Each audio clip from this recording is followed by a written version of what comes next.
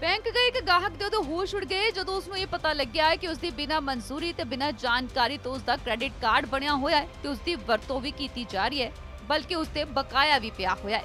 ਜਦੋਂ ਇੱਥੇ ਬੈਂਕ ਨੇ ਗਾਹਕ ਨੂੰ ਕਿਹਾ ਕਿ ਉਹਨਾਂ ਦੇ ਕ੍ਰੈਡਿਟ ਕਾਰਡ ਦਾ ਬਕਾਇਆ ਅਜੇ ਬਾਕੀ ਹੈ, ਤਾਂ ਉਸ ਗਾਹਕ ਦੇ ਹੋਸ਼ ਉੜ ਗਏ, ਕਿਉਂਕਿ ਉਸ ਦਾ ਕਹਿਣਾ ਸੀ ਕਿ ਉਸਨੇ ਕ੍ਰੈਡਿਟ ਕਾਰਡ ਬਣਵਾਇਆ ਹੀ ਨਹੀਂ।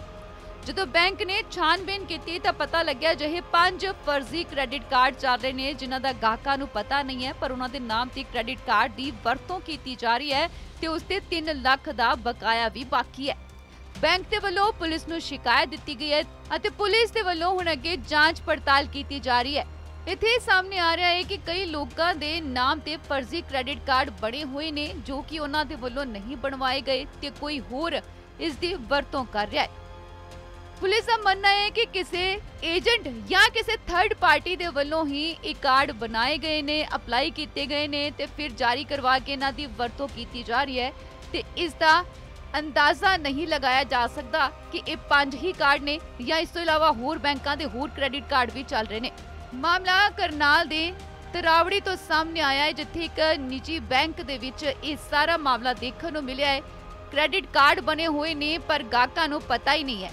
ਬਲਕਿ ਉਹਨਾਂ ਦੇ ਇਹਨਾਂ ਫਰਜ਼ੀ ਕ੍ਰੈਡਿਟ ਕਾਰਡਾਂ ਦੀ ਵਰਤੋਂ ਠੱਗ ਕਰ ਰਹੇ ਨੇ ਅਤੇ ਇਹਨਾਂ ਕਾਰਡਾਂ ਦੇ ਉੱਤੇ ਹੁਣ ਲੱਖਾਂ ਦਾ ਬਕਾਇਆ ਵੀ ਬਾਕੀ ਹੈ ਫਿਲਹਾਲ ਪੁਲਿਸ ਨੂੰ ਸ਼ਿਕਾਇਤ ਦਿੱਤੀ ਗਈ ਹੈ ਤੇ ਪੁਲਿਸ ਦੇ ਵੱਲੋਂ ਜਾਂਚ ਪੜਤਾਲ ਕੀਤੀ ਜਾ ਰਹੀ ਹੈ एच बैंक की तरफ से हमें कंप्लेंट मिली थी जिसमें फ्रॉड तरीके से क्रेडिट कार्ड को इशू करना बयान हुआ है जिसमें हमने जांच कर रखी जांच जारी है अभी और पता लगाया जाएगा कि इसमें किस किस की मिली भगत है। सर कितने कार्डों का मामला सामने आया? कितने क्रेडिट कार्ड हैं? कुल पाँच क्रेडिट कार्ड का मामला सामने आया है जिसमें कुल पेंडेंसी है इनकी तीन लाख के अराउंड है।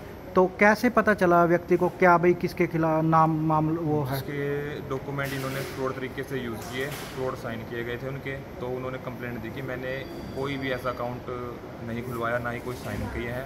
तो बैंक वालों की तरफ़ से फिर उन्होंने कंप्लेंट की है जिसके संबंध में तो शिकायत किन की तरफ़ से दी गई सर आपको? शिकायत सर एच बैंक की तरफ़ से। बैंक के अधिकारियों की तरफ़ से? तो अब तक क्या कुछ निकल कर आया सामने? कितने क्रेडिट कार्ड है?